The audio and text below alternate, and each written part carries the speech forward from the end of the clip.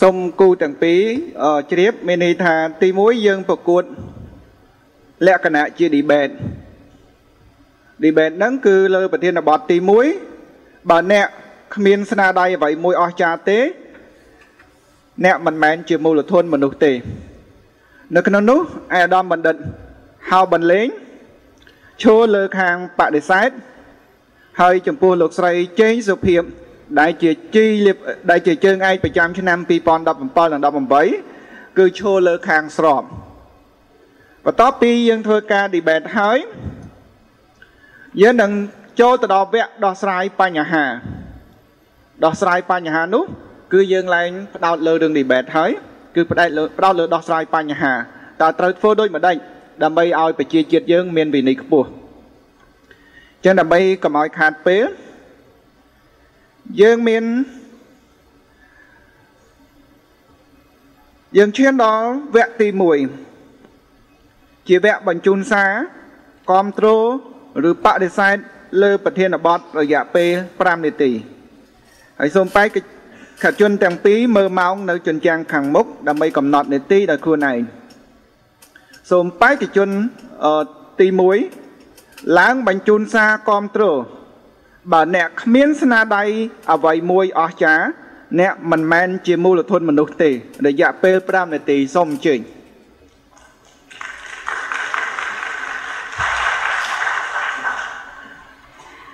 ជាបឋមខ្ញុំព្រះករុណាសូមក្រាបថ្វាយបង្គំព្រះធេរៈនៅធរៈគ្រប់ព្រះអង្គសូមគោរពគណៈកម្មការហើយនិងសូមគោរពលោកគ្រូរដ្ឋាដែលជាអ្នកសម្របសម្រួលនៅក្នុងកម្មវិធីនេះហើយក៏សូមគោរពអង្គវេទិកាទាំងមូលផងដែរចា៎ ជាកិត្តិយសខ្លាំងណាស់ដែលខ្ញុំមានឱកាសបានចូលមកប្រកួតគំនិតជជែកដេញដោលជាមួយអាដាមបណ្ឌិតហៅបន្លេងចានេះអឺវាជារឿងមួយដ៏អស្ចារ្យដែលសង្កត់ទៅលើប្រធានបទថា ការកសាងមូលធនសម្រាប់ចិត្តយើងខ្ញុំអត់ទាន់បានប្រកួតផងប៉ុន្តែខ្ញុំបានខ្ញុំដឹងបាត់ហើយថាខ្ញុំបានធ្វើស្នាដៃដ៏មួយដ៏អស្ចារ្យដែលខ្ញុំអាចប្រកួតជាមួយបណ្ឌិតបានចា៎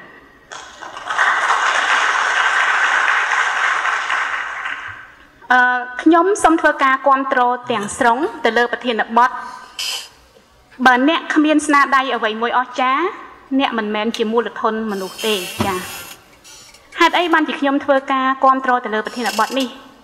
រយៈពេល3ថ្ងៃនេះប្រធានបទធំដែលយើងជជែកគឺការកសាងមូលធនមនុស្សហើយពាក្យថាមូលធនមនុស្សយើងពាក្យខមមិនល្បីល្បី ទាំងអស់រយៈពេល2ថ្ងៃព្រមទាំងបេក្ខជនបេក្ខនារីដែលបានចូលប្រកួតគាត់បានបញ្ជាក់ច្បាស់ណាស់ថាមូលធនមនុស្សមានអ្វីខ្លះគឺមានទាំងចំណេះដឹងជំនាញបទពិសោធន៍ការច្នៃប្រឌិតគុណភាពជីវិត ភាពវៃឆ្លាតព្រមទាំងសុខភាពល្អផងដែរនៅទីនេះខ្ញុំសូមធ្វើការគ្រប់គ្រងពាក្យថា បើសិនជាយើងគ្មានបង្កើតស្នាដៃអ្វីមួយអស្ចារ្យយើងមិនមែនជាមូលធននោះទេហ្នឹងខ្ញុំមានអំណះអំណាងធម្មតាមនុស្សយើងម្នាក់ម្នាក់នៅពេលដែលយើងនិយាយហៅថាខ្លួនឯងថាជាមូលធនមនុស្សគឺមានន័យថាយើងជាបុគ្គលសំខាន់រួចទៅហើយមិនថាយើងស្ថិតនៅក្នុងក្របខ័ណ្ឌការងារបែបណា ជាមន្ត្រីរាជការជានិស្សិតជាសហគ្រិនជាអ្វីក៏ដោយដែលជា មនុស្សដែលមានប្រកបរបរវិជ្ជាជីវៈនៅក្នុងសង្គមសម្រាប់គ្រួសារគឺយើងសុទ្ធតែជាមូលធនមនុស្សទាំងអស់ហើយពាក្យថា ស្នាដៃអ្វីមួយអស្ចារ្យគឺពិតជាយើងទាំងអស់គ្នាពិតជាអាចធ្វើបានមែនដោយសារតែ ពាក្យថាអស្ចារ្យដូចខ្ញុំលឺអាដាមបណ្ឌិតបានមានភាសាថាអស្ចារ្យមិនមែនទោះឲ្យយើងអាចបង្កើតយន្តហោះបានអាចបង្កើតកប៉ាល់ទឹកបានអាចបង្កើតក្របបែកបរិមាបានបរិមាណូបានទើបហៅថាយើងអស្ចារ្យទេ សំបីតែខ្ញុំឈ្នះពាន2ឆ្នាំកន្លងមកក៏ខ្ញុំធ្វើរឿងអស្ចារ្យសម្រាប់រួនខ្ញុំរួចទៅហើយមែនណាបងប្អូនមែនអត់ចាខ្ញុំឈ្នះពាន2ឆ្នាំជាប់គ្នាគឺខ្ញុំបានបង្កើតស្នាដៃអស្ចារ្យរួចទៅហើយគឺខ្ញុំជាមូលធនពិតប្រកបរបស់ជាតិមែនអត់ចាអញ្ចឹងពាក្យថាអស្ចារ្យមិនមែនសំដៅតែលើធ្វើរឿងដ៏ធំធំទេ បងប្អូននិស្សិតដែលរៀនជាប់និទេសអេក៏បងប្អូនបានធ្វើរឿងអស្ចារ្យដែរ ឪពុកម្ដាយដែលចិញ្ចឹមកូនឲ្យរៀនសូត្របានខ្ពង់ពោះរហូតកូនមានអនាគតធ្វើបានបណ្ឌិតធ្វើដល់ឯកឧត្តមរដ្ឋមន្ត្រីក៏ឪពុកម្ដាយជាមនុស្សអស្ចារ្យដែរបង្កើតរឿងស្នាដៃអស្ចារ្យហើយខ្ញុំជឿថាមនុស្សដែលក្នុងក្នុងបន្ទប់នេះគឺអាចធ្វើរឿងអស្ចារ្យលើសពីមួយមែនអត់ស្នាដៃអស្ចារ្យនៅទីនេះនិយមន័យប្រធានបទគឺនិយាយថាអ្វីមួយស្នាដៃអ្វីមួយប៉ុន្តែខ្ញុំចង់និយាយថាមូលធនមនុស្សពិតប្រាកដគឺអាចធ្វើរឿងលើសពីមួយ មែនអត់បងប្អូនទាំងអស់គ្នា ចាអញ្ចឹងនៅកន្លែងនេះខ្ញុំចង់និយាយថាបើសិនជាយើងជាមូលធនមនុស្សពិតប្រាកដយើងមានទាំងចំណេះយើងមានទាំងជំនាញយើងមានទាំងបទពិសោធន៍យើងមានទាំងការច្នៃប្រឌិតភាពវៃឆ្លាតព្រមទាំងមានសុខភាពល្អគុណភាពជីវិតយើងគឺយើងជាមនុស្សដែលមានគុណតម្លៃពិតប្រាកដគឺយើង ប្រកាសជាអាចបង្កើតស្នាដៃអ្វីមួយអស្ចារ្យសម្រាប់ខ្លួនយើងសម្រាប់គ្រួសាររបស់យើងហើយក៏សម្រាប់ប្រទេសជាតិយើងផងដែរពីព្រោះថាស្នាដៃអស្ចារ្យវាមានភាពប្លែកៗគ្នា វាមានទៅតាមកម្រិតរបស់វាមិនមែនទាល់តែអ្នកធ្វើជានាយករដ្ឋមន្ត្រីទៅអ្នកមានស្នាដៃអស្ចារ្យទេ មិនមែនទាល់តែអ្នកធ្វើចវាយខែទៅអ្នកមានស្នាដៃអស្ចារ្យទេមិនមែនទាល់តែអ្នកធ្វើមហាសិទ្ធិទៅអ្នកមានស្នាដៃអស្ចារ្យទេរឿងអ្វីក៏ដោយដែលអ្នកធ្វើបានហើយអ្នកដតីធ្វើមិនបានហើយអ្នកធ្លាប់ធ្វើបានដោយសារតែអ្នកមិនធ្លាប់ធ្វើបានធ្វើវាកន្លងមកហើយអ្នកអាចសម្រេចបាននោះគឺជាស្នាដៃអស្ចារ្យ ដូច្នេះខ្ញុំសូមធ្វើការគ្រប់គ្រងទៅលើប្រធានបទរបស់ខ្ញុំបើសិនជាអ្នកមិនមានស្នាដៃអ្វីមួយអស្ចារ្យអ្នកមិនមែនជាមូលធនមនុស្សនោះគឺជាការពិតពីព្រោះមូលធនមនុស្សគេកំពុងតែធ្វើខ្លាំងណាស់បច្ចុប្បន្ននេះទាំង World Bank ទាំងក្រសួងអឺ World Health Organization ទាំង World Bank ទាំងអស់គឺគេធ្វើការវិនិយោគទៅលើធនធានមនុស្សយើងហៅថា Human Capital Investment និង Human Capital Development គឺទាំងអភិវឌ្ឍទាំងវិនិយោគចាសូមអរគុណ បាទអរគុណច្រើនសម្រាប់បេក្ខជនទី1សូមអញ្ជើញបេក្ខជនទី2ឡើងបញ្ជូនសារបដិសេធបាទអ្នកគ្មានស្នាដៃអ្វីមួយអស្ចារ្យអ្នកមិនមែនជាមូលធនមនុស្សទេរយៈពេល5នាទីសូមអញ្ជើញបាទសូមអរគុណជាថ្មីហើយសូមគោរពព្រះធិរានុធិរៈគ្រប់ព្រះអង្គសូមគោរពគណៈកម្មការនិងអស់លោកស្រីទាំងអស់ដែលមានវត្តមានទីនេះហើយជាពិសេសគឺលោករដ្ឋាដែលបានធ្វើជាអ្នកសម្របសម្រួលដោយសារខ្ញុំឈរនៅលើប្រ ធានបទនេះដែលឈរនៅលើអ្នកបដិសេធមានន័យថាខ្ញុំត្រូវតែបដិសេធទាំងស្រុងថាមិនចាំបាច់តតែមានស្នាដៃទៅយើងคลายទៅជាមូលធនមនុស្សទេបាទអញ្ចឹងបានខ្ញុំថារាល់សារទាំងឡាយដែលគេសរសេរសូមបងប្អូនកុំគិតថាអ្នកសរសេរនឹងជានរណាអ្នកណាក៏អាចសរសេរបានបណ្ឌិតឬក៏មិនបណ្ឌិតអ្នកពូកែឬអ្នកមិនពូកែសរសេរបានដូចគ្នា ប៉ុន្តែយើងត្រូវចេះមានគំនិតពិចារណាថាសារហ្នឹងត្រូវកម្រិតណាហើយមិនទាន់ត្រឹមត្រូវកម្រិតណាបាទអញ្ចឹងបានគេធ្វើឲ្យមានការស្របហើយនឹងបដិសេធយើងគំនិតស្របមិនអាក្រក់គំនិតបដិសេធក៏មិនអាក្រក់វាឈរនៅលើទស្សនៈនៃការពិចារណាគ្មានអីដែលល្អឥតខ្ចោះអញ្ចឹងខ្ញុំបដិសេធទាំងស្រុងថាអឺមិនចាំបាច់តតែមានស្នាដៃអស្ចារ្យទៅคลายជាមនុស្សជាមូលធនមនុស្សទេ ហេតុអ្វីដោយសារតែពាក្យថាមូលធនមនុស្សគឺមានគោលការណ៍តែ4នេះអាចคลายទៅជាមូលធនមនុស្សដោយមិនចាំបាច់មានភាពអស្ចារ្យតើមានអីមុនគេមានសុខភាពបាទដូចខ្ញុំបាននិយាយពីខាងដើមសុខភាពពេញលេញពាក្យថាសុខភាពពេញលេញមានន័យថាសុខភាពផ្លូវកាយសុខភាពផ្លូវចិត្តនិងសុខុមាលភាពសង្គមបើអ្នកមាន3ហ្នឹងអ្នកកំណត់ថាអ្នកមានសុខភាព ទី2អ្នកត្រូវតែមានសមត្ថភាពពាក្យថាសមត្ថភាពត្រូវតែទៅរៀនមិនមែនអត់រៀនទេហើយរៀននេះរៀននៅសាលាឲ្យបានត្រឹមត្រូវរៀនយកបរិញ្ញាបត្របរិញ្ញាបត្រជាន់ខ្ពស់ឬបណ្ឌិតបើអាចធ្វើទៅបានពាក្យថារៀនមួយម៉ាត់នេះរៀនឲ្យចេះហើយរៀនឲ្យដឹងរៀនឲ្យធ្វើបាន ហើយរៀនឲ្យដឹងខុសដឹងត្រូវមិនមែនរៀនយកតែសញ្ញាបត្រទេចំណុចទី3គឺរៀនហើយត្រូវតែមានការងារធ្វើ ហើយការងារពេលដែលយើងចេញទៅធ្វើការងារគឺយើងត្រូវធ្វើការងារឲ្យមានជំនាញនិងបទពិសោធន៍ដើម្បីឲ្យคลายទៅជាមនុស្សម្នាក់ដែលមានការទទួលខុសត្រូវលើការងាររបស់ខ្លួនកុំបញ្ចប់ត្រឹមហ្នឹងគោលការណ៍ទី4ដែលជាគោលការណ៍សំខាន់មានន័យថាត្រូវតែបង្ហាញនៅភាពជាគំរូ ទោះបីយើងមានសមត្ថភាពប៉ុណ្ណាក៏ដោយយើងមានសុខភាពប៉ុណ្ណាក៏ដោយយើងមានការងារធ្វើល្អប៉ុណ្ណាក៏ដោយតែយើងខ្វះគុណធម៌យើងខ្វះព្រំវិហារធម៌យើងជាមនុស្សដែលគ្មានសុជីវធម៌និងសិលធម៌យើងមិនមែនជាធនធានមនុស្សដ៏ប្រពៃសម្រាប់ជាមូលធនមនុស្សប្រពៃសម្រាប់ប្រជាជាតិយើងបានទេដូច្នេះគោលការណ៍ទី4នេះគឺជាគោលការណ៍គ្រឹះសំខាន់សម្រាប់ដើម្បីឲ្យយើងคลายទៅជាមូលធនមួយពិតប្រាកដ មួយទៀតដែលខ្ញុំចង់បង្ហាញជូនថាកុំភ្លេចអ្វីដែលយើងធ្វើមិនមែនចប់ត្រឹមថ្ងៃហ្នឹងទេអ្វីដែលគេคลายខ្លួនទៅជាមូលធនមនុស្សមិនមែនបញ្ចប់ត្រឹមពេលហ្នឹងទេ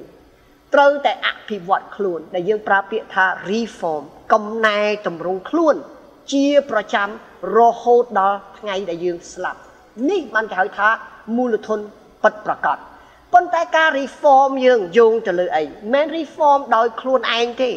ការ reform ធ្វើឡើងដោយការស្ដាប់គេ ការតិទៀនរបស់គេ អ្នកដែលតិទៀនយើង គឺជាគ្រូយើងឲ្យយើងយល់អញ្ចឹងបើអ្នកដែលសរសើរយើងប្រយ័ត្នប្រយែងប៉ុន្តែអ្នកដែលតិទៀនយើង គឺជាគ្រូយើងប៉ុន្តែយើងពីដើមប្រជាជាតិខ្មែររបស់យើងគឺស្អប់អ្នកតិទៀនចាត់ទុកអ្នកតិទៀនថាជាសត្រូវមកនេះគឺជាការយល់យល់យល់ខុសខ្លាំងណាស់បាទ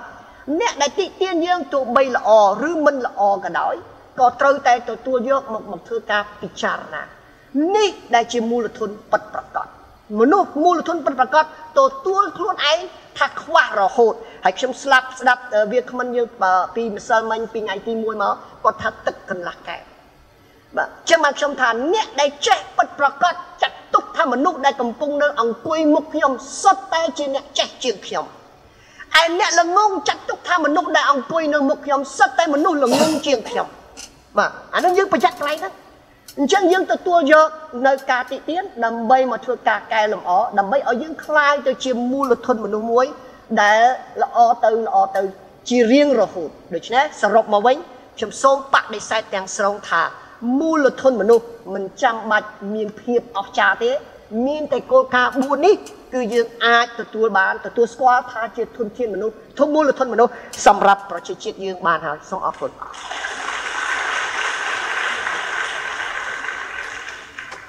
បាទជាបន្តឈានដល់វគ្គទី2គឺជាវគ្គសួរឆ្លើយមានន័យថាសួរមិនឲ្យលើសពី1នាទីឆ្លើយក៏មិនឲ្យលើសពី3នាទីសូមបេក្ខជនខាងបដិសេធផ្ដើមសំណួរមួយសំណួរមុនសួរទៅបងចេញសភាពអូនទៀតបាទបាទខ្ញុំសូមអរគុណឥឡូវខ្ញុំសូមសួរទៅបងអូនស្រីថា មានគេនិយាយថា ប្រទេសកម្ពុជា មានមូលធនមនុស្សតែមូលធនមនុស្សនៅស្ដួចស្ដើងមិនត្រឹមតែស្ដួចស្ដើងទេ គឺការប្រើប្រាស់ធនធានមូលធនមនុស្សនោះมันបានត្រឹមត្រូវថែមទៀតតើបងស្រីយល់យ៉ាងណា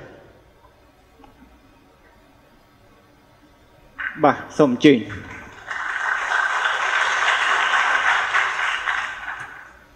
ចាសូមអរគុណលោកគ្រូដែលបានខ្ញុំសូមហៅថាលោកគ្រូតែម្ដងចាអឺតកតងទៅនឹងសំណួរដែលលោកគ្រូសួរថានៅក្នុងប្រទេសមានគេនិយាយថាប្រទេសកម្ពុជាយើងហ្នឹងមានមូលធនមនុស្សស្ដួយស្ដើងហើយការប្រើប្រាស់ធនធានមនុស្សហ្នឹងទៀតប្រើអត់បានត្រឹមត្រូវទៀតចាខ្ញុំចង់និយាយថាខ្ញុំសូមឆ្លើយសំណួរនេះគឺมันពិបាកឆ្លើយទេចា នៅក្នុងប្រទេសកម្ពុជារបស់យើងបើយើងក៏លេចមើលតាំងពីសម័យដើមមកដល់បច្ចុប្បន្ននេះ គឺយើងមិនមែនមានមូលធនមនុស្សដូចស្ដាងទេចាហើយក៏មិនមែនប្រើមិនបានត្រឹមត្រូវដែរហេតុអីបានជាខ្ញុំនិយាយថាអញ្ចឹងនៅទីនេះមនុស្សទាំងអស់គ្នាសុទ្ធតែ ជាមូលធនមនុស្សទាំងអស់នៅទីនេះអត់មានអ្នកណាមួយមិនមែនជាមូលធនមនុស្សទេ ប៉ុន្តែគ្រាន់តែមូលធនរបស់យើង មិនទាន់បានវិនិយោគមិនទាន់បានអភិវឌ្ឍឲ្យបានគ្រប់គ្នាហើយឲ្យបានគ្រប់ជ្រុងជ្រោយហេតុអីបើសិនជាយើងនិយាយថាមូលធនមនុស្សយើងនៅស្ទួយស្ដាងយើងមើលទៅលើគោលការណ៍របស់រដ្ឋាភិបាលជាពិសេសតកតងទៅនឹងវិស័យអប់រំយើងមើលឃើញថាគាត់ខំប្រឹងខ្លាំងណាស់ទៅលើការអភិវឌ្ឍមូលធនមនុស្សនិងធនធានមនុស្ស គឺក្នុងមួយឆ្នាំមួយឆ្នាំ គឺមានគឺក្រសួងអប់រំតែងតែផ្ដល់ឱកាសឲ្យកូនខ្មែរគ្រប់រូបមានឱកាសចូលសិក្សាដោយឥតគិតថ្លៃនេះចំពោះវិស័យអប់រំសាធារណៈហើយទៀតសោតចំពោះវិស័យឯកជន គឺយើងមានច្រើនណាស់ដែលកំពុងតែបណ្ដុះបណ្ដាលទៅលើមូលធនមនុស្សគឺមានច្រើនមែនតើជាពិសេសវិស័យឯកជនទាំងសាលាធម្មតានិងសាលាដែលមានគុណភាពខ្ពស់ហើយនិងសាលាដែលថ្លៃ ដែលមានតម្លៃថ្លៃនិងតម្លៃសមរម្យសម្រាប់អ្នកធម្មតាអាចចូលរៀនបានហើយចំពោះសំណួរដែលលោកគ្រូសួរបញ្ជាក់បន្ថែមថាហេតុអីបានគេនិយាយថាយើងប្រើមូលធនមនុស្សរបស់យើងនឹងអត់ទាន់បានត្រឹមត្រូវវាមិនខុសទេប្រើមិនបានត្រឹមមិនទាន់បានត្រឹមត្រូវប៉ុន្តែមិនមែនមានន័យថាមិនត្រឹមត្រូវទេគ្រាន់តែមិនទាន់បានត្រឹមត្រូវ100%ធម្មតាប្រទេសយើងកំពុងអភិវឌ្ឍ យើងត្រូវការពេលវេលាខ្ញុំចាំលោកគ្រូនិយាយច្បាស់ណាស់ថាអ្វីអ្វីក៏ដោយឆ្លាតប៉ុណ្ណាក៏ដោយប៉កែប៉ុណ្ណាក៏ដោយគឺត្រូវការពេលវេលាខ្ញុំនៅចាំសម្ដីរបស់លោក Warren Buffett គាត់និយាយថា អ្នកប៉កែយ៉ាងណាឆ្លាតយ៉ាងណាក៏ដោយតែអ្នកមិនអាចឲ្យស្ត្រី9នាក់បង្កើតតែរួមម្នាក់ក្នុងរយៈពេល1ខែដែលឲ្យគាត់ពោពោះនោះទេចាអញ្ចឹងកម្ពុជាយើង មិនមែនអន់មិនមែនមិនអាចប្រើធនធានមនុស្សបានទេប៉ុន្តែដោយសារពេលវេលារបស់យើងយើងអត់ទាន់ប្រើវា ដល់កម្រិតមួយដែលយើងចង់បានអញ្ចឹងខ្ញុំសូមឆ្លើយសម្រាប់លោកគ្រូថាចំពោះសំណួរដែលថាស្ដួចស្ដាងត្រឹមត្រូវនេះគឺយើងត្រូវការពេលវេលាដើម្បីធ្វើឲ្យបានប្រសើរបំផុតចាសូមអរគុណបាទអរគុណច្រើនសូមតែខានារីខាងស្របសួរមួយសំណួរទៅខាងបដិសេធវិញខ្ញុំចង់ជំរាបសួរលោកគ្រូថា មូលធនមនុស្សត្រូវមានតែ4ទេលោកគ្រូមានប្រសាសន៍មិញណាចាប៉ុន្តែខ្ញុំបានស្រាវជ្រាវអឺម្សិលមិញខ្ញុំមើលទៅខាង World Bank មើលទៅអឺគេហៅថាអឺ WHO World Health Organization ហើយក៏មើលទៅលើខាងស្ថាប័នធំធំរបស់អន្តរជាតិពិភពលោកគាត់ថាមូលធនមនុស្សមិនមែនមានតែ4ទេមូលធនមនុស្សមានទាំងភាពច្នៃប្រឌិត ជាពិសេសគឺមានទាំងកតិបណ្ឌិតហើយនិងគុណភាពជីវិតទៀតបើសិនជាលោកគ្រូថាមានតែ4តើបើសិនជាមានតែ4មនុស្សមានហើយទាំង4នឹងសមត្ថភាពប៉ុន្តែមនុស្សអត់មានភាពច្នៃប្រឌិតទេហើយអត់មានកតិបណ្ឌិតទេតើលោកគ្រូគិតថាមូលធនមនុស្សនឹងអាចប្រើបានប្រសិទ្ធភាពល្អប្រសើរបំផុតដែលយើងចង់បានដែរឬក៏អត់ចាសូមអរគុណបាទអរគុណច្រើន ជាបន្តសូមឲ្យខាងបដិសេធឆ្លើយនឹងសំណួរអរគុណរយៈពេល3នាទីតាមពិតសំណួររបស់បងអូនស្រីល្អដែលយោងតាមអត្ថបទជាច្រើនមិនមិនសំខាន់ទេ4ចំណុចដែលខ្ញុំយកមកនិយាយនេះចង់ដាក់ទៅ9ចំណុចក៏បានដែរកាន់តែតែបំបែកវាទៅខ្ញុំខ្ញុំលើកឧទាហរណ៍អូនស្រីបានឡើងឡើងអំពីគុណភាពនៃជីវិតបើមនុស្សមានសុខភាពខ្ញុំបានហើយគោលការណ៍ទី1គឺមនុស្សត្រូវតែមានសុខភាព បើមនុស្សមានសុខភាពអានោះហើយដែលគេហៅថាម៉េចគុណភាពនៃជីជីវិតព្រោះមនុស្សណាក៏ដោយក៏ចង់រស់នៅ បានយូរដែរអញ្ចឹងរស់នៅបានយូរដោយមានសុខភាពអានេះគេហៅគុណភាពនៃនៃជីវិតទី2អូននិយាយអំពីកតិបណ្ឌិតលក្ខណៈគឺបានមកពីអីខ្ញុំនិយាយខាងដើមខាងមិញខ្ញុំបញ្ចូលនៅក្នុងពាក្យថាត្រូវតែកសាងសមត្ថភាពរៀនឲ្យបាន bachelor degree master degree ឬក៏ PhD នឹងគឺជាកតិបណ្ឌិត នៅពេលដែលយើងរៀនបាននេះមែនអញ្ចឹងអ្វីដែលបងនិយាយគឺថាបងបានលើកឡើងនេះគឺបានន័យថាគ្រប់គ្រងនៅចំណុច4របស់ខ្ញុំនេះទាំងស្រុងមកអត់មានខ្វះអីមួយទេទាំងស្រុងទាំងគុណ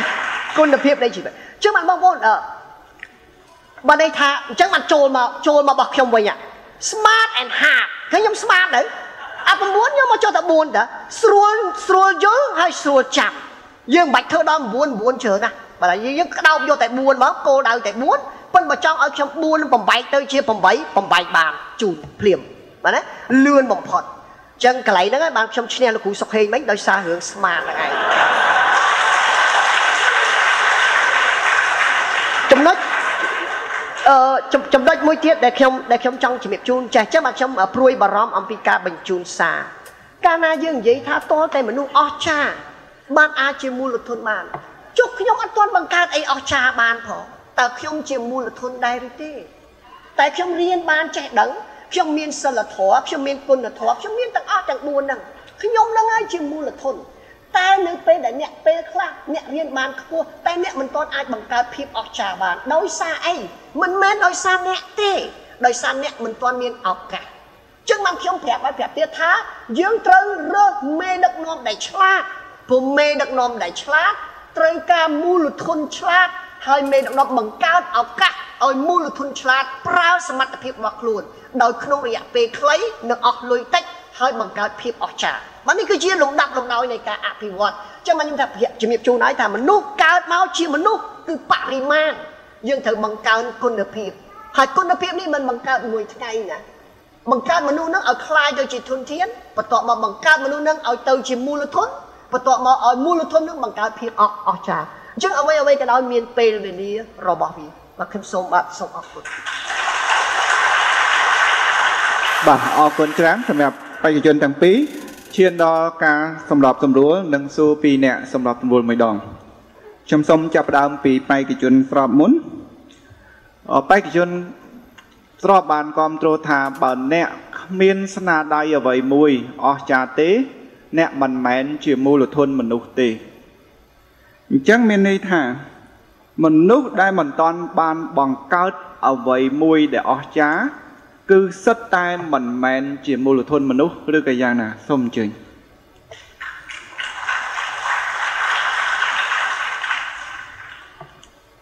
ចា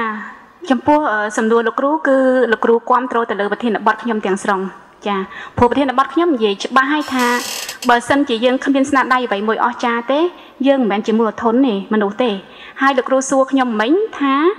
បើសិនជាមនុស្សដែលមិនមានមិនទាន់បានបង្កើតស្នាដៃអ្វីមួយដ៏អស្ចារ្យគឺពិតជាមិនមែនមូលធនមនុស្សទេមែនទេលោកគ្រូចាខ្ញុំនៅតែនិយាយដដែលដដែលខ្ញុំចាំតាំងពីថ្ងៃទី1ដែលលោកគ្រូបានបង្ហាញពីភាពអស្ចារ្យរបស់ជនជាតិអ៊ីស្រាអែលហើយគាត់បានទៅដល់ប្រទេសហ្នឹងខ្ញុំគិតថា ជារឿងមួយអស្ចារ្យហើយខ្ញុំចាំពាក្យ3ដែលគាត់បានអឺចែករំលែកទៅដល់អង្គវេទិការបស់យើងគាត់ថាជនជាតិអ៊ីស្រាអែលធ្វើការតែ2នាក់ឯងស្មើនឹងអាមេរិកកាំង50នាក់ចាហើយគាត់និយាយថាហេតុអីបានជាជនជាតិគេនឹងធ្វើរឿងអស្ចារ្យបានច្រើនហើយអស្ចារ្យម្លេះដោយសារតែទី1គេហ៊ានសុបិនទី2គឺគេជឿជាក់ទៅលើក្តីសុបិនរបស់គេហើយទី3គេហ៊ានតាមសុបិននឹងឲ្យដល់ទីបំផុតចា ក្នុងកន្លែងនេះខ្ញុំចង់និយាយសម្ដៅទៅលើបងប្អូនជនជាតិកម្ពុជាទាំងអស់ត្រូវតែហ៊ានធ្វើឲ្យដូចជនជាតិអ៊ីស្រាអែលដូចគ្នាបើសិនជាយើងធ្វើជាមូលធនមនុស្សយើងមិនហ៊ានបង្កើតស្នាដៃមួយអស្ចារ្យសម្រាប់ខ្លួនឯងសម្រាប់ស្ថាប័នរបស់យើងសម្រាប់សង្គមជាតិយើងផងតើយើងស័ក្តិសមជាមូលធនមនុស្សដែរឬក៏អត់បងប្អូនទាំងអស់គ្នាឆ្លើយណាបងប្អូនទាំងអស់គ្នានៅទីនេះអ្នកណាខ្លះមិនចង់បង្កើតស្នាដៃអស្ចារ្យមានទេ ហើយចុះបងប្អូនចង់អភិវឌ្ឍខ្លួនឯងដើម្បីបង្កើតស្នាដៃអស្ចារ្យសម្រាប់ស្ថាប័នខ្លួនឯងគ្រួសារខ្លួនឯងនិងសង្គមជាតិខ្លួនឯងទេខ្ញុំជឿថាបើបងប្អូនមិនចង់បងប្អូនមិនមកអង្គុយស្ដាប់នៅកន្លែងនេះ13ថ្ងៃទេអញ្ចឹងនៅត្រង់ចំណុចកន្លែងនេះគឺជាសារដាស់រំលឹកស្មារតីរបស់យើងទាំងអស់គ្នាកុំចូលចិត្តគិតអ្វីដែលទៀបទៀបតូចតូចអន់អន់ពេកគិតអ្វីឲ្យធំធំទៅ សុបិនឲ្យធំហើយជឿជាក់ថាយើងធ្វើបានកុំសំងំយកសុកហើយគិតតែថាធ្វើឲ្យរួចតែខ្លួនឲ្យតែបានសុកតែខ្លួនឯងធ្វើជាមូលធននៅក្នុងប្រទេសមួយដែលអាចឲ្យរីកចម្រើនបានមិនមែនមនុស្សម្នាក់ពីរនាក់ធ្វើបានមិនមែនអ្នកដឹកនាំអស់ចាម្នាក់ធ្វើបានដោយមិនមានប្រជាជនទូទាំងប្រទេសចូលរួមនោះទេ ជនជាតិអ៊ីស្រាអែលឬក៏ជនជាតិអាមេរិកឬក៏ជប៉ុនកូរ៉េដែលគេកំពុងតែដើរជឿនលឿនដោយសិង្ហបុរីរាល់ថ្ងៃមិនមែនដោយសារតែអ្នកដឹកនាំម្នាក់ធ្វើបានទេអញ្ចឹងបងប្អូនទាំងអស់គ្នាត្រូវដាក់គោលដៅជីវិតខ្លួនឯងថាក្នុងមួយជីវិតរបស់ខ្ញុំយ៉ាងហោចណាស់ក៏ត្រូវតែបង្កើតស្នាដៃអ្វីមួយអស្ចារ្យសម្រាប់ខ្លួនឯងដែរទៅស័កសមជាមូលធនរបស់ប្រទេសកើតមកមិនធ្ងន់ផែនដីអញ្ចឹងបងប្អូនទាំងអស់គ្នាត្រូវតែដឹងថាបើសិនជាយើងជាមូលធនមនុស្សពិតប្រាកដកុំខ្ជះខ្ជាយពេលវេលា កុំខ្ជះខ្ជាយឱកាសកុំធ្វើឲ្យឱកាសបាត់បង់រៀនបង្កើតឱកាសហើយធ្វើធ្វើស្នាដៃអ្វីមួយដ៏អស្ចារ្យសម្រាប់ខ្លួនឯងនិងសម្រាប់ជាតិនេះគឺជាសារដែលខ្ញុំចង់បញ្ជូនទៅដល់បងប្អូនទាំងអស់គ្នាចាសូមអរគុណបាទជាបន្តសូមឆ្លងទៅខាងបដិសេធវិញបេក្ខជនបដិសេធបាននិយាយថាដើម្បីคลายជាមូលធនមនុស្សត្រូវតែមានសុខភាពត្រូវតែមានការរៀនមានការងារ រហូតដល់4ចំណុចប៉ុន្តែបញ្ហាពាក់ព័ន្ធនឹងសុខភាពនេះ Steve Jobs គឺគាត់មានបញ្ហាសុខភាពហើយគាត់បានផលិត Apple សម្រាប់ពិភពលោកតើគាត់មិនមែនជាមូលធនមនុស្សឬក៏យ៉ាងណា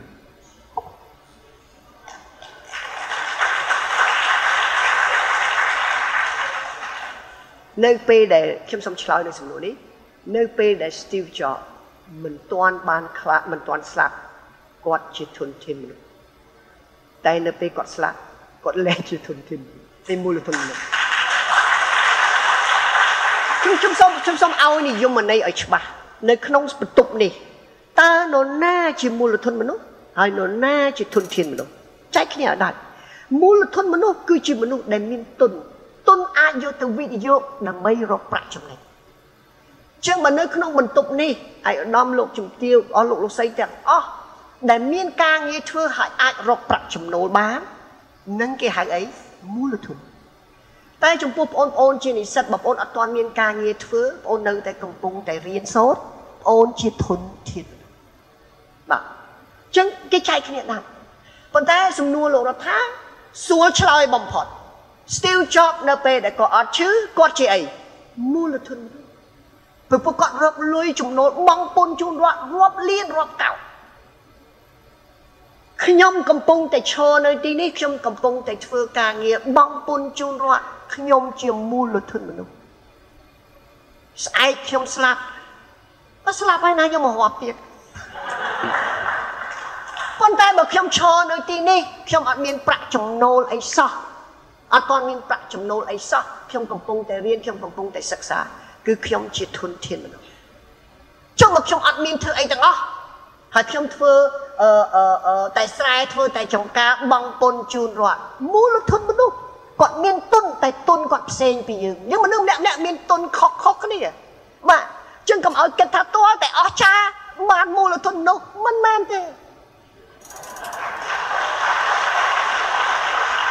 ខ្ញុំខ្ញុំខ្ញុំប្រាប់ខ្ញុំប្រាប់ថាមាន4 ប៉ុន្តែមិនចាំបាច់ដល់តែ4ហ្នឹងទេ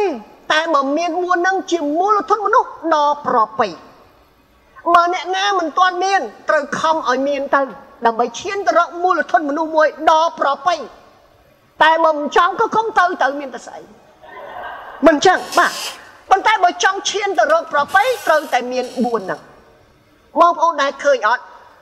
មានអ្នកមានច្រើនណាស់ដែលគាត់មានលុយច្រើនគាត់បង់ពូនជូនរដ្ឋ ហើយខ្ញុំឃើញគេថត Facebook រាល់ថ្ងៃជិះឡានអត់ឈប់ច្បាប់ឈប់ភ្លើងក្រហមជិះឡានដោយជ្រែគេ ជាមនុស្សដែលអត់មានសិលធម៌តែជាមូលធនមនុស្សអត់ជាមូលធនមនុស្សតែជាមូលធនមនុស្សដែលខ្វះគោលការណ៍មួយ គឺអីគោលការណ៍ភាពជាគំរូបាទអញ្ចឹងអញ្ចឹងបានយើងខំដូចខ្ញុំមួយថ្ងៃខ្ញុំចង់ខ្លាយខ្លួនទៅជាមូលធនមនុស្សមួយដែលប្រពៃដែលប្រពៃបើចង់ប្រពៃបានតើតែមាន4ហ្នឹង បាទអញ្ចឹងមិនមែនចាំបាច់តតែ4ខុំហ្នឹងបានវាមូលធនមនុស្សមិនមែនទេចឹងមានតែ2ក៏3 4បើមាន4គេហៅមូលធនមនុស្សប្រប្រពៃបាទសូមអរគុណ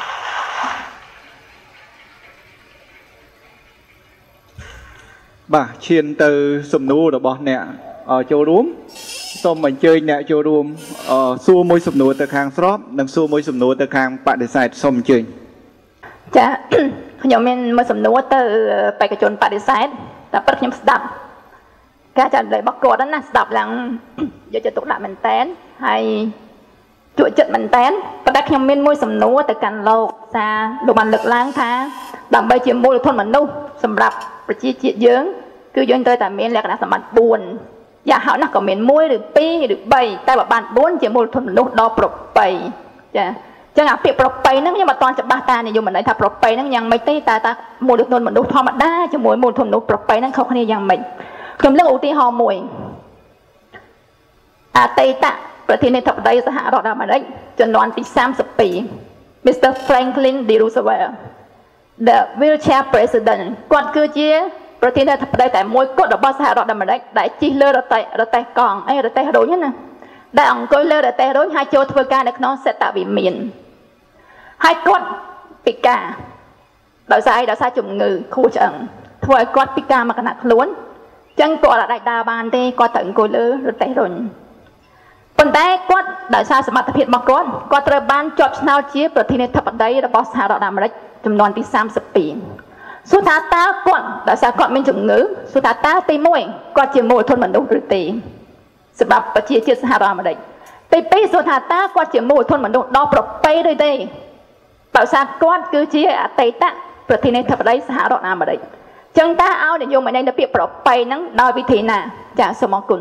បាទអរគុណច្រើនសូមទី2សួរមកខាងស្របម្ដងអូខេសួស្តីខ្ញុំចង់សួរទៅខាងបងខាងស្របព្រោះដោយសារប្រធានបទយើងគឺគាត់បាននិយាយថាតើតែយើងមានស្នាដៃអ្វីមួយទៅយើង ជាមូលធនរបស់មនុស្សអញ្ចឹងអញ្ចឹងអូបែរថាឥឡូវនៅក្នុងសង្គមមួយអឺប្រជាជនម្នាក់ឬក៏បុគ្គលម្នាក់គាត់ព្យាយាមខ្លាំងក្នុងមួយជីវិតគាត់តែពេលដែលគាត់ស្លាប់ទៅគឺគាត់បានសាងស្នាដៃអីទេដើម្បីជួយដល់សង្គមជាតិឬក៏ឲ្យមនុស្សជាតិស្គាល់គាត់អញ្ចឹងមានថាគាត់មិនមែនជាមូលធនរបស់មនុស្សជាតិទេគឺឬក៏យ៉ាងណាសូមច្រើនសម្រាប់សំណួរទាំងពីរអូខេសូមអញ្ជើញខាង បេក្ខជនខាងស្របសូមមេត្តាឆ្លើយនឹងសំណួរចាប់ផ្ដើមមុនចាសូមអរគុណខ្ញុំអត់ដឹងថាប្អូនប្រុសឬបងប្រុសទេចាព្រោះខ្ញុំមកអត់ឃើញពីចងាយច្បាស់ចាចំពោះសំណួរដែលប្អូនសួរថាប្រជាជនម្នាក់ឬក៏ឪពុកម្នាក់ឬក៏បុគ្គលម្នាក់ដែលគាត់ស្លាប់ទៅហ្នឹងគាត់មានបងសល់ស្នាដៃអ្វីទាល់តែសោះហើយតើគាត់នឹងជាមូលធនមនុស្សដែរឬក៏យ៉ាងណាចា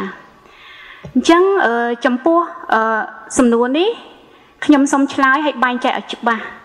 អឺតាំងពីថ្ងៃទី1ខ្ញុំចាំថាលោកគ្រូសំសម្បត្តិគាត់បានលើកអំពីភាពខុសគ្នារវាងមូលធនមនុស្សនិងធនធានមនុស្សហើយយើងទាំងអស់គ្នាខ្ញុំគិតថាយើងដឹងច្បាស់ធនធានមនុស្សរបៀបម៉េចមូលធនមនុស្សរបៀបម៉េចហើយខ្ញុំបញ្ជាក់នៅក្នុងឃ្លារបស់យើងគឺប្រធានបទរបស់យើងតាក់ទងទៅនឹងមូលធនមនុស្សយើងសង្កត់ធ្ងន់អញ្ចឹងតើគាត់ជាមូលធនមនុស្សដែរឬក៏យ៉ាងណា ដែលគាត់មិនបានបន្សល់ស្នាដៃអ្វីទាល់តែសោះខ្ញុំចង់សួរទៅប្អូនដែលសួរសំណួរវិញក្នុងនាមជាឪពុកម្នាក់មិនគាត់សួរខ្ញុំណាជាឪពុកម្នាក់គាត់អត់បានបន្សល់ស្នាដៃហេតុអីបានថាគាត់អត់បន្សល់ស្នាដៃគ្រាន់តែគាត់អាចបង្កើតកូនផ្ដល់កំណត់ឲ្យកូនណាឲ្យមានកូនម្នាក់ពីរនាក់បីនាក់ដែលមានជីវិតមកនៅលើផែនដីហ្នឹងណាគាត់ជាគាត់បានបន្សល់ស្នាដៃមួយទុករួចទៅហើយមែនអត់ជាឪពុកបើពាក្យថាឪពុកគឺមានកូន ចាសំណួរខ្ញុំសូមឆ្លើយទៅតាមអ្វីដែលគាត់សួរទី2បើសិនជាឪពុកនឹងគាត់បានបណ្ដោះបណ្ដាលឲ្យកូនរៀនសូត្របានខ្ពង់ខ្ពស់ហើយកូនរបស់គាត់คล้ายជាមនុស្សដ៏ពូកែឬក៏ជាមនុស្សដែលមានតម្លៃនៅក្នុងសង្គមក៏គាត់គឺជាមូលធនមនុស្សដែរពីព្រោះគាត់បានបង្កើតនូវគុណតម្លៃនិងគុណតម្លៃនៃជីវិតរបស់ក្រុមគ្រួសារគាត់ពីព្រោះខ្ញុំចង់ឆ្លើយទៅវិញមូលធនមនុស្សមិនមានធំមិនមែនមានធំតែចំណេះដឹង ជំនាញបទពិសោធន៍សុខភាពទេ ហើយខ្ញុំលើលោកបណ្ឌិតនិយាយច្បាស់ថាសុខភាពនឹងគឺជាគុណភាពជីវិតខ្ញុំថាមិនមែនសុខភាពជាគុណភាពនៃជីវិតទាំងមួយយ៉ាងទេគុណភាពជីវិតណារួមទាំងការរស់នៅដ៏មានសុភមង្គលនៅក្នុងគ្រួសារមានសុខភាពល្អមានចំណេះដឹងមានជំនាញមានបទពិសោធន៍ប៉ុន្តែមិនចេះបង្កើតសេចក្តីសុខឲ្យគ្រួសារខ្លួនឯងមិនចេះបង្កើត សេចក្តីសុខឲ្យខ្លួនឯងគ្រួសារមានតែចំនួនមានតែហឹង្សាសួរថាមានគុណភាពជីវិតដែរឬក៏អត់បងប្អូនទាំងអស់គ្នាអញ្ចឹងកន្លែងចំណុចបងអូនសួរថាតើគាត់ជាមូលធនមនុស្សឬក៏អត់គាត់មានពីព្រោះបងអូនបញ្ជាក់ថាជាឪពុកពាក្យថាឪពុកគឺមានគុណធ្ងន់ណាស់ហើយឪពុកបានបង្កើតអ្វីអ្វីឲ្យកូនរបស់ខ្លួនបានយ៉ាងច្រើនទោះបីជាគាត់ក្រឬមិនមានទ្រព្យក៏ដោយតែគាត់ស្ដាប់ទៅគាត់បានបន្សល់នៅកូនរបស់គាត់ដែលអាចធ្វើរឿងជាច្រើនសម្រាប់គ្រួសារខ្លួនឯងសម្រាប់ ស្ថាប័នរបស់ខ្លួនឯងដោយសារសំណួររបស់បងប្អូនអត់សួរខ្ញុំឲ្យទលាយទេអញ្ចឹងខ្ញុំឆ្លើយទៅតាមអ្វីដែលខ្ញុំយល់គឺមានថាន័យថាក៏គាត់ក៏ជាមូលធនមួយដែរដែលអាចបន្សល់នៅរឿងល្អល្អសម្រាប់កូនចៅរបស់គាត់បានគឺការផ្ដល់ការអប់រំផ្ដល់តម្លៃទៅដល់ក្រុមគ្រួសារបង្កើតសុភមង្គលចាសូមអរគុណបាទជាបន្តសូមទៅបេក្ខជនខាងបដិសេធសូមឆ្លើយនឹងសំណួរសូមអញ្ជើញមុននឹងឆ្លើយទៅសំណួរបងអូនស្រីខ្ញុំគាត់ជំរាបជូនបន្តិច អឺអូនសុភាពនិយាយថាមិនមែនជាគុណភាពជីវិតដោយសារបញ្ហាសុខភាពប្រហែលជាយល់ន័យរបស់ខ្ញុំអត់បានច្បាស់ខ្ញុំថាសុខភាពគឺសុខភាពផ្លូវកាយសុខភាពផ្លូវចិត្តនិងសុខមាលភាពសង្គមចឹងมันឆ្លាតនឹងខ្លាំងណាស់សង្ខេបយកហ្មងបាទបើសិនជាក្នុងគ្រួសារយើងឆ្លោះគ្នានឹងយើងមានមានបញ្ហាសុខភាពផ្លូវចិត្តឡូបាទដូច ខ្ញុំនិយាយពីម្សិលមិញខឹងគេឈឺខ្លួនឯងទៅខឹងគេទៅអីបាទខ្ញុំការជាមួយប្រពន្ធខ្ញុំ10ឆ្នាំ7 5 6 7 10ឆ្នាំខ្ញុំអត់អាចខឹងគាត់ទេពីព្រោះខឹងគាត់ឈឺខ្លួនឯងទៅខឹងគេទៅអីទុកឲ្យខឹងតែគាត់ទៅយើងកុំខឹងឥឡូវចូលមកសំណួរនេះវិញអញ្ចឹងបានខ្ញុំថាការបងប្អូនការដែលប្រើភាពវៃឆ្លាតនេះ គឺជួយឲ្យយើងសំខាន់ណាស់សំខាន់ឲ្យយើងងាយស្រួលក្នុងការយល់ចូលមកសំណួរនេះវិញចំពោះបងស្រីវិញបងស្រីនិយាយអំពី president ខ្ញុំបានស្គាល់គាត់ស្គាល់គាត់តាមរយៈការសិក្សាជាមួយគាត់ដែរសិក្សានៃប្រវត្តិគាត់យើងត្រូវចាត់ទុកថា4ដែលប្រពៃពាក្យថាប្រពៃមានន័យថាម៉េចគ្រប់ជ្រុងជ្រោយ comprehensive ប៉ុន្តែពាក្យថា president you are elected ប្រសិនបើយើងជ្រើសរើសយើងត្រូវកំណត់4ហ្នឹងមួយណាជាអតិភិបនៅក្នុង4ហ្នឹង ប្រសិនបើបងប្អូនស្រីមកឈរជាមួយខ្ញុំឲ្យគេជ្រើសរើសតើ4ហ្នឹងមនុស្សត្រូវកំណត់ថា4ហ្នឹងមួយណាជាអតិភិបសមត្ថភាពគឺជាអតិភិបពីព្រោះទៅធ្វើមេដឹកនាំបើមេដឹកនាំអត់មានសមត្ថភាពដូចខ្ញុំនិយាយមិញចឹងសុខភាពមិនមែនជាឧបសគ្គទេតែសមត្ថភាពគឺជាឧបសគ្គនៃមេដឹកនាំមិនដែលមានមេដឹកនាំដែលអត់សមត្ថភាពទៅធ្វើមេដឹកនាំហ្មងអញ្ចឹងសមត្ថភាពគឺជាអតិភិបទី1អញ្ចឹងពេលដែលលោក President Franklin ដែលគាត់ជាប់ជា President ប្រហែលជាប្រជាជនសហរដ្ឋអាមេរិកជ្រើសរើសនៅអតិភិបណាមួយដែលដៃគូរបស់គាត់គ្មានអញ្ចឹងភាពសុខភាព គឺមិនមែនជារបាំងអញ្ចឹងមេដឹកនាំដែលល្អគេរើសអីមុនគេបងប្អូនគេរើសអីមុនគេ សមត្ថភាពទី2រើសអីទី2រើសអីទី2រើសភាពជាគំរូបើអត់មានភាពជាគំរូមិនអាចធ្វើមេដឹកនាំដែលឆ្លាតដែលពូកែបាន សុខភាពនិងភាពកៅអីភាពខ្ញុំប្រាប់ពីមិញភាពសំសួនផ្នែកកាយសម្បទាជារឿងបន្ទាប់បន្សំបើគាត់មានសមត្ថភាពខ្ញុំជាមួយនឹងប្អូនស្រីគាត់ក៏មានសមត្ថភាពខ្ញុំក៏មានសមត្ថភាពគាត់ក៏មានភាពជាគំរូខ្ញុំក៏មានជាភាពជាគំរូគាត់ជាប់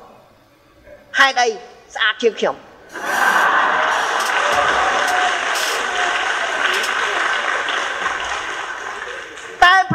ប្រសិនបើគាត់មានសមត្ថភាពទៀបជាងខ្ញុំភាពជាគំរូទៀបជាងខ្ញុំទោះស្អាតប៉ុណ្ណឹងក៏នៅតែខ្ញុំជាប់ដែរ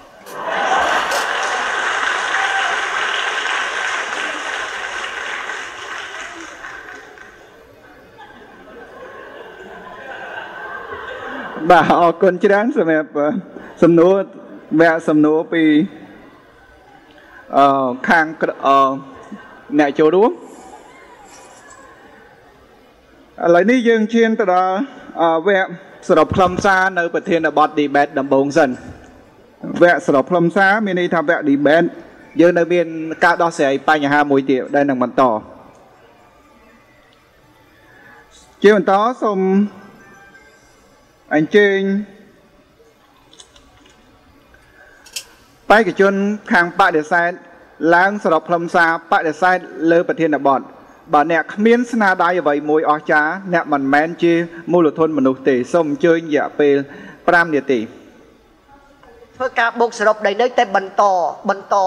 បដិសេធថាមិនចាំបាច់មានភាពអស្ចារ្យហើយការយកពាក្យអស្ចារ្យភាពអស្ចារ្យមកដាក់កន្លែងនេះគឺជាឧបសគ្គមួយសម្រាប់រៀបរៀងដល់ការអភិវឌ្ឍមូលធនមនុស្សដូច្នេះខ្ញុំសូមទាញសេចក្តីនឹងថាខ្ញុំបដិសេធទាំងស្រុងមិនគួរប្រើពាក្យនឹងទេមានន័យថាបើយើងចង់កសាងមូលធនមនុស្ស ហើយឲ្យមូលធនមនុស្សនឹងប្រពៃបាន គឺមានតែលក្ខខណ្ឌ4ដែលខ្ញុំបានជំរាបជូននឹងគឺគ្រប់គ្រាន់ហើយដោយសារមានពេលវេលាខ្ញុំចង់ខ្ញុំចង់បញ្ជូនមួយទៀតថាបងប្អូនយើងគួរឲ្យគួរឲ្យអាណិតអាសូរសុខយើងដែលខ្ញុំឃើញរាល់ថ្ងៃតាម Facebook តាម YouTube ឡាក់ឡាក់ចាប់បានចោលគឺសឹងតែចោលនឹងស្លាប់នេះហើយគឺជារូបភាពអវិជ្ជមាននេះហើយជាភាពជាគំរូនេះហើយជាសិលធម៌សង្គម តើនរណាជាអ្នកដោះស្រាយអញ្ចឹងយើងទាំងអស់គ្នាគឺជាអ្នកដោះស្រាយមិនមែនរងចាំឲ្យអ្នកណាដោះស្រាយទេបាទហើយដោយសារអីបានគាត់ធ្វើអញ្ចឹងដោយសារគាត់មើលមនុស្សនឹងក្នុងផ្លូវអវិជ្ជមានបើគាត់មើលក្នុងផ្លូវវិជ្ជមានដូចយើងគឺមិនមានហេតុការណ៍នឹងកើតឡើងទេអញ្ចឹងខ្ញុំទៅគ្រប់គ្រងចោលអត់មិនមែនទេ តែខ្ញុំត្រូវចាប់ចោលនឹងដើម្បីបញ្ជូនឲ្យសមត្ថកិច្ចយកទៅធ្វើការកែលម្អ គ្មានមនុស្សណាដែលរស់នៅក្នុងភពផែនដីនេះចង់ធ្វើអំពើអាក្រក់ទេគ្មានមនុស្សណាដែលរស់នៅក្នុងភពផែនដីនេះចង់ល្ងងខ្មៅទេចង់ចេះចង់ស្អាតចង់ល្អចង់ពូកែចង់មានចង់បានដូចដូចគ្នាតែអភ័ព្វអភ័ព្វដោយសារតែរស់នៅក្នុងកលៈទេសៈមួយ ដែលគ្មានឱកាសដែលគ្មានលទ្ធភាពនិងគ្មានការគ្រប់គ្រងដែលធ្វើឲ្យមនុស្សនឹងអភិវឌ្ឍខ្លួនបានទៅជាធនធានមនុស្ស ទៅជាមូលធនមនុស្សចឹងហើយកន្លែងហ្នឹងខ្ញុំផ្ដល់ផ្ដល់ការបដិសេធហើយបដិសេធទៀតថាគុំយកភាពអស្ចារ្យមកធ្វើជាឧបសគ្គសម្រាប់ការអភិវឌ្ឍធនធានមនុស្សនិងមូលធនមនុស្សយើងទាំងអស់គ្នាទោះស្ថិតនៅក្នុងកលៈទេសៈណាក៏ដោយ មានកម្រិតសមត្ថភាពនិងចំណេះដឹងនិងប្រាក់ចំណូលប្រព័ន្ធណាក៏ដោយ យើងគឺជាមូលធនមនុស្សហើយការអភិវឌ្ឍមូលធនមនុស្ស មិនពិបាកទេប៉ុន្តែយើងត្រូវស្គាល់របៀបក្នុងការអភិវឌ្ឍបាទកន្លែងនេះខ្ញុំចង់ទាញអារម្មណ៍ខ្ញុំចង់ឲ្យឧទាហរណ៍មួយទៀតយើងចេះតែនិយាយថា អ្នកដែលបានសញ្ញាបត្រសុទ្ធតែជាមនុស្សមានចំណេះដឹងទី2យើងនៅក្នុងប្រទេសក្រីក្រយើង close mind បិទបិទ បិទខ្ញុំចង់និយាយថាបិទផ្លូវមកខ្ញុំសួរសុកខ្មែរមកគេសួរថាតើសកលវិទ្យាល័យណាល្អប្រាប់ខ្ញុំវិញមកសកលវិទ្យាល័យណាដែលល្អប្រាប់ខ្ញុំវិញយើងឆ្លើយមួយគេអត់បានទេតែបើសុកគេចិត្តខាងយើងគេឆ្លើយបានសកលវិទ្យាល័យនេះ rank ទីប្រមាណសកលវិទ្យាល័យនេះ rank ទីប្រមាណហើយគេធ្វើឲ្យសកលគេ open mind គេបើកបើកចិត្តឲ្យទូលាយ មិនមែនកសាងមូលធនមនុស្សសញ្ញាតែជាតិយើងទេគេហ៊ានកសាងមូលធនមនុស្សដើម្បីយកទៅលក់លក់នៅលើទីផ្សារអន្តរជាតិថែមទៀតបើកន្លែងនេះខ្ញុំសូមជំរាបជំរាបទោះថាព្យាយាមកុំបង្កើតឧបសគ្គតែបើកបើកឲ្យធំបើកបើកមកហើយបើធ្វើបានតួនាទីកាន់តែធំបើកឲ្យកាន់តែទូលាយអានឹងខ្ញុំថាយើងអាចឈានទៅរកការដែលបណ្ដោះបណ្ដាលមូលធនមនុស្សបានច្រើន ហើយយើងនឹងអាចឈានមកជំហានទៀតដើម្បីនឹងទៅបង្កើតឱកាសឲ្យមូលធនមនុស្សឈានទៅរកភាពអស្ចារ្យពីព្រោះវាមានដំណាក់កាលលំដាប់លំដោយអញ្ចឹងហើយបើយើងអត់ទាន់មានធនធនធានមនុស្សផងរឿងអីយើងទៅមានមូលធនមនុស្សបានហើយបើយើងមិនទាន់មានមូលធនមនុស្សផងរឿងអីយើងទៅបង្កើតភាពអស្ចារ្យបានមិនមែនអត់បានតែយឺតណាស់ហើយតិចណាស់ដែលมันអាចដែលมันអាចប្រកួតប្រជែងនឹងសកលភាវូបនីយកម្មបានទេ បាទដូច្នេះប្រធានបទនេះខ្ញុំសរុបចុងក្រោយកុំប្រើប្រាស់ភាពអស្ចារ្យដើម្បីបង្កើតជាឧបសគ្គឬការរើសអើងទៅលើការអភិវឌ្ឍមូលធនមនុស្សសម្រាប់ប្រជាជាតិយើងបាទខ្ញុំសូមអរគុណបាទអរគុណច្រើនជាបន្តសូមពាក់សរុបខ្លឹមសារនៅប្រធានបទទី1សិនពីខាងបៃខណ្ឌរីសូមអញ្ជើញរយៈពេល5នាទីចាអឺ សម្រាប់ខ្ញុំខ្ញុំនៅតែធ្វើការគ្រប់គ្រងទៅលើប្រធានបទរបស់ខ្ញុំបើអ្នកគ្មានស្នាដៃអ្វីមួយអស្ចារ្យអ្នកមិនមែនជាមូលធនមនុស្សទេខ្ញុំសូមសរុបសេចក្តីមកវិញតាំងពីខាងដើមខ្ញុំបានបញ្ជាក់យ៉ាងច្បាស់ថាអស្ចារ្យមិនមែនទាល់តែយើងធ្វើជានាយករដ្ឋមន្ត្រីមិនទាន់តែយើងអាចបង្កើតយន្តហោះបង្កើតបរិមាណោឬក៏ធ្វើអ្វីដែលធំធំទៅហៅថាអស្ចារ្យទេរឿងអស្ចារ្យគឺយើងអាចធ្វើបាន ចាប់ពីចំណុចតូចតូចទៅ ហើយចាប់ផ្ដើមពីយើង ម្នាក់ម្នាក់ទៅហេតុអីបានជាខ្ញុំនៅតែធ្វើការសរុបទៅលើចំណុចនេះសំបីតែយើងជាស្ត្រីម្នាក់ឬក៏បរិសម្នាក់នៅក្នុងតំបន់របស់យើងកន្លែងដែលយើងរស់នៅសំបីតែយើងខ្លាចជាមនុស្សម្នាក់ដែលអាចធ្វើឲ្យមានភាពស្មើគ្នាគេហៅថាបរិសស្ត្រីធ្វើការដោយមិនរើសអើង រួមគ្នាធ្វើការហើយយើងខ្លាចជាមនុស្សគំរូនៅក្នុងកន្លែងយើងមួយហ្នឹងណាធ្វើឲ្យមានភាពសប្បាយរីករាយក៏យើងបានធ្វើរឿងអស្ចារ្យសម្រាប់កន្លែងយើងដែរនេះទី1ទី2មនុស្សម្នាក់ម្នាក់សុទ្ធតែមានភាពអស្ចារ្យរបស់ខ្លួនចេះអីធ្វើនឹងទៅចេះអីធ្វើនឹងទៅមានជំនាញជាអ្នករាជការធ្វើការរាជការបង្កើតភាពអស្ចារ្យក្នុងនាមជាមន្ត្រីរាជការធ្វើសហគ្រិនបង្កើតភាពអស្ចារ្យក្នុងនាមជាសហគ្រិនមក ធ្វើគ្រូបង្រៀនបង្កើតភាពអស្ចារ្យជាគ្រូបង្រៀនមកបង្កើតស្នាដៃឲ្យខ្លាយជាគ្រូគំរូមកចាធ្វើជាសំបីតែអ្នកសម្អាតក៏ត្រូវតែធ្វើជាអ្នកសម្អាតដ៏អស្ចារ្យដែរយើងឃើញទេថ្មីថ្មីហ្នឹងជនជាតិជប៉ុនម្នាក់ដែលគាត់ជាប់ជាលំដាប់អ្នកសម្អាតដែលស្អាតបំផុតរបស់ពិភពលោកឃើញឯមនុស្សនៅគេដែលមានគោលដៅគេដឹងច្បាស់តែគេចង់ធ្វើអីសំបីតែឃើញតួនាទីណាមួយក៏ដោយតែត្រូវតែមានភាពអស្ចារ្យដែរ នេះគឺជាការពិតបើសិនជាយើងមិនយកភាពអស្ចារ្យមកដាក់ពីមុខមនុស្សមានកម្លាំងចិត្តឯណាទៅធ្វើអីកើតសួរថាបងប្អូនទាំងអស់គ្នាចង់ធ្វើអីអន់អន់អត់ចង់ធ្វើតែរឿងធម្មតាធម្មតាអត់អត់ទេទាំងខ្ញុំក៏ដោយយើងចង់ធ្វើអីយើងចង់សម្រេចគោលដៅរបស់យើងហើយការដែលយើងទៅដល់គោលដៅរបស់យើងហ្នឹងហើយយើងហៅថាភាពអស្ចារ្យរបស់យើងពេលនេះឥឡូវនេះ បងប្អូនមួយចំនួនមិនទាន់អាចធ្វើរឿងអស្ចារ្យបានប៉ុន្តែបងប្អូនមានគោលដៅជីវិតរបស់ខ្លួនឯងដាក់កំណត់មក5ឆ្នាំទៀតដោយឯកឧត្តមបណ្ឌិតគាត់និយាយឲ្យថាគាត់មន្ត្រីរាជការគាត់ធ្វើការគាត់ដឹងថាប្រាក់ខែគាត់ប្រមាណគាត់មិនអាចខ្លាយជាសិទ្ធិបានទេប៉ុន្តែគាត់ចង់បន្សល់មរតកមួយដ៏អស្ចារ្យគឺសរសេរសភៅ5ក្បាលមែនអត់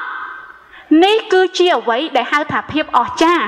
អញ្ចឹងខ្ញុំចង់និយាយថាយើងម្នាក់ម្នាក់ទាំងអស់គ្នាទាំងខ្ញុំទាំងបងប្អូនដែលមាននវិនវត្តមាននៅទីនេះព្រមទាំងបងប្អូនដែលកំពុងតែមើលនៅតាមបណ្ដាញសង្គម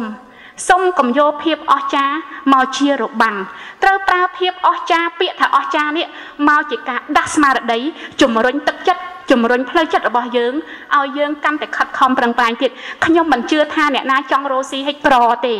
ខ្ញុំមិនចង់ ជឿថាអ្នកណាដែលធ្វើខ្ញុំមិនអាចជឿថាអ្នកណាធ្វើរាជការមិនចង់ឡើងធំទេដោយលោកគ្រូរដ្ឋាគាត់និយាយចឹងបើថាធ្វើគ្រូធ្វើឲ្យដល់បណ្ឌិតបើថាមិនអំណាចធ្វើមន្ត្រីរាជការសូមធ្វើឲ្យអស់លទ្ធភាពឲ្យដល់ប៉ុស្តិ៍ដល់នាយករដ្ឋមន្ត្រីឬក៏រដ្ឋមន្ត្រីទៅបើធ្វើបើធ្វើសហគ្រិនសូមឲ្យធ្វើទៅដល់ខ្លាយជាសេដ្ឋីទៅកុំធ្វើត្រឹមតែសហគ្រិនធម្មតាធម្មតា ហើយបើធ្វើដោយគាត់ដូចជាអ្នកស្រាវជ្រាវសូមធ្វើឲ្យជាអ្នកស្រាវជ្រាវដែលអាចសរសេរចេញជាសមិទ្ធផលអ្វីមួយដូចជាសភៅឬអ្វីមួយដែលមនុស្សអាចរៀនសូត្របានច្រើនអានឹងទៅហៅថាអស្ចារ្យអញ្ចឹងយើងទាំងអស់គ្នា ដែលនៅទីនេះសូម្បីតែបងប្អូនបង្កើតបុត្រធីតារបស់បងប្អូនមកបងប្អូនមិនដែលចង់ឲ្យកូនរបស់ខ្លួនឯងធម្មតាធម្មតា មែនទេគឺចង់ឲ្យកូនយើងខ្លាចជាមនុស្សអស្ចារ្យដូចគ្នាប៉ុន្តែអស្ចារ្យកម្រិតណាដែលបុគ្គលម្នាក់ម្នាក់ដែលបុត្រធីតារបស់យើងអាចធ្វើទៅបានមែនអត់បងប្អូនទាំងអស់គ្នាឥឡូវមនុស្សក្នុងសាលទាំងអស់ចង់ធ្វើរឿងអស្ចារ្យសម្រាប់ខ្លួនឯងអត់ចង់អត់ចង់បើចង់សុំបងប្អូនផ្ទះដៃខ្លួនឯងមួយទៅ អត់មានយើងយករឿងអស្ចារ្យហ្នឹងមកជារបាំងហើយជាការរើសអើងទេពាក្យអស្ចារ្យមិនមែនជាការរើសអើងមនុស្សទេមនុស្សណាក៏មានសមត្ថភាពធ្វើរឿងអស្ចារ្យបានដែរទោះបីជាជនពិការក៏ដោយទោះបីជាអ្នកដែលមានបញ្ហាក៏ដោយសូម្បីតែលោកគ្រូគាត់លើកឡើងហើយសូម្បីតែមនុស្ស autism ដែលទៅទៅជាប់ American Idol ក៏គាត់អាចធ្វើរឿងអស្ចារ្យបានដែរអញ្ចឹងយើងទាំងអស់គ្នាត្រូវតែហ៊ានដាក់គោលដៅសម្រាប់ជីវិតរបស់យើងថាក្នុងមួយជីវិតរបស់ខ្ញុំយ៉ាងហោចណាស់ក៏ខ្ញុំបង្កើតស្នាដៃមួយអស្ចារ្យសម្រាប់ប្រទេសខ្លួនឯងសម្រាប់ក្រុមគ្រួសារខ្លួនឯងសម្រាប់ស្ថាប័នរបស់ខ្លួនឯងដែរហើយបើបងប្អូនទាំងអស់គ្នាធ្វើបានលើសពីមួយគឺកាន់តែមហាអស្ចារ្យនេះគឺជាសារដែលខ្ញុំចង់បញ្ជូនថាត្រូវធ្វើជាមនុស្សអស្ចារ្យទៅខ្លាយជាមូលធនមនុស្សដ៏អស្ចារ្យរបស់ប្រទេសចាសូមអរគុណ បាទអរគុណច្រើន យើងឈានដល់វគ្គទី2ដែលជាវគ្គដោះស្រាយបញ្ហាតើធ្វើដូចម្ដេចដើម្បីឲ្យប្រជាជាតិយើង មានវិន័យខ្ពស់សូមបេក្ខជនទាំងពីរត្រូវចាំថាប្រសិនបើអ្នកមានពេលតែ3នាទី តែអ្នកនិយាយថាតើត្រូវធ្វើម៉េចដើម្បីឲ្យប្រជាជាតិកម្ពុជារបស់យើង មានវិន័យខ្ពស់សូមអញ្ជើញពីខាងស្របមុនម្ដងសូមអញ្ជើញ ចាអឺសូមជម្រាបអង្គវេទិកាទាំងមូលអឺតាមពិតឡើងមកថ្ងៃនេះចង់និយាយជាងគេគឺប្រធានបទចុងក្រោយនឹងតែម្ដងចាគឺវិន័យធ្វើម៉េចឲ្យប្រជាជាតិយើងមានវិន័យខ្ពស់អឺខ្ញុំសូមលើកដោយសារពេលវេលាខ្ញុំសូមលើកចំណុចគោល4សំខាន់សំខាន់វិន័យមានន័យថាជាច្បាប់ជាក្រិតក្រម អញ្ចឹងច្បាប់ឲ្យនឹងក្រិតក្រមហ្នឹងធ្វើយ៉ាងម៉េចទៅឲ្យប្រជាជាតិយើងមានវិន័យខ្ពស់ព្រោះប្រជាជាតិគឺទូទាំងប្រទេសគឺពិបាកណាស់មិនងាយធ្វើបាននោះទេ ពីព្រោះវាត្រូវចាប់ផ្ដើមតាំងពីបុគ្គលម្នាក់ម្នាក់ឡើងទៅខ្ញុំសូមនិយាយតាក់ទងទី1គឺចំណុចមុនគេគឺគ្រួសារគ្រួសារគឺជាចំណុចសំខាន់បំផុតពីព្រោះគ្រួសារគឺជាអ្នកបង្កើតបុត្រធីតាមកហើយគឺជាមនុស្សដំបូងដែលធ្វើជាគំរូជាអ្នកអប់រំជាអ្នកផ្ដល់ដំបូន្មានទៅដល់ បកគលកូនចៅនៅក្នុងគ្រួសាររបស់ខ្លួនឯងមុនគេបំផុតចាគឺគ្រួសារបើសិនជាឪពុកម្ដាយគឺជាគំរូដ៏ល្អជាមនុស្សដែលមានវិន័យមានទម្លាប់ល្អល្អគឺគាត់នឹងធ្វើជាគំរូរបស់កូនកូនគាត់បានយ៉ាងល្អបំផុតមិនមែនសូត្រតែទ្រឹស្ដីទេគឺទង្វើសកម្មភាពប្រចាំថ្ងៃរបស់គាត់ទី2កត្តាសាលារៀនសាលារៀនដែលយើងនិយាយថាការអប់រំគឺសំខាន់បំផុត កត្តាសាលារៀននៅកន្លែងនេះតកតងទាំងកម្មវិធីសិក្សាតកតងទាំងនឹងគុណភាពគ្រូបើសិនជាយើងមានកម្មវិធីសិក្សាល្អគ្រូគ្មានគុណភាពក៏មិនអាចជួយឲ្យប្រជាជាតិយើងសិស្សសាស្ត្រសិស្សរបស់យើង មានវិន័យខ្ពស់បានដែរអញ្ចឹងគ្រូនិងកម្មវិធីសិក្សា ការបង្រៀនគឺជារឿងដែលត្រូវដើរទន្ទឹមគ្នា ពីព្រោះកត្តាសាលារៀននេះហើយមិនថាសាលារៀនឯកជនមិនថាសាលារៀន របស់រដ្ឋាភិបាលសាលារៀនរដ្ឋគឺត្រូវតែមានទាំងពីរទៅធ្វើឲ្យប្រជាជាតិយើងសិស្សសានុសិស្សជាពិសេសក្មេងចំនួនក្រោយ មានវិន័យយើងលើកឧទាហរណ៍ជាក់ស្ដែងសាលាវត្តបូរនៅសៀមរាប គឺខ្លាយជាសាលាគំរូមួយ ដែលអាចធ្វើឲ្យសិស្សសានុសិស្សនៅទីនោះមានគំរូមានគេហៅមានវិន័យល្អមែនតែនចា ទី3គឺកត្តាបុគ្គលខ្លួនឯងបុគ្គលបើមិនបង្កើតទម្លាប់ល្អទេគឺมันអាចធ្វើឲ្យខ្លួនឯងទទួលជោគជ័យបានទេពីព្រោះយើងនិយាយឲ្យថាទម្លាប់ល្អគឺអាចបដូរយើងបានបានន័យថា change your habit change your life ចាផ្ដាស់ប្ដូរទម្លាប់ផ្លាស់ប្ដូរជីវិត ទី4គឺកត្តាសង្គមសង្គមគឺជារឿងសំខាន់ណាយើងមើលសហហបរិយ អាចធ្វើឲ្យប្រជាជនមានរបៀបបានដោយសារតែគេមានច្បាប់រដ្ឋាភិបាលគេដាក់កម្រិតច្បាស់លាស់សូម្បីតែអ្នកជក់បរិយបោះចោលនៅទីសាធារណៈហូបស្ករកស៊ូបោះចោលសាធារណៈក៏ត្រូវផាកពិន័យ300ដុល្លារ1000ដុល្លារដែរអញ្ចឹងមានសាលារៀនមានបុគ្គលខ្លួនឯងមានគ្រួសារប៉ុន្តែបើអត់មានសង្គមមានច្បាប់វិន័យត្រឹមត្រូវប្រទេសយើងមិនអាចមានវិន័យខ្ពស់បានទេมันអាចទេគឺតើតែមានកត្តាទាំង4នេះរួមចូលគ្នាទៅធ្វើឲ្យមានវិន័យខ្ពស់បានចាសូមអរគុណ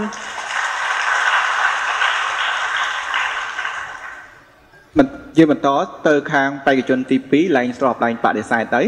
តើបើមានពេលតែ3នាទីបេក្ខជនទី2គឺធ្វើការដោះស្រាយយ៉ាងដូចម្ដេចដើម្បីឲ្យប្រជាជាតិយើងមានវិន័យខ្ពស់សូមអញ្ជើញ3នាទី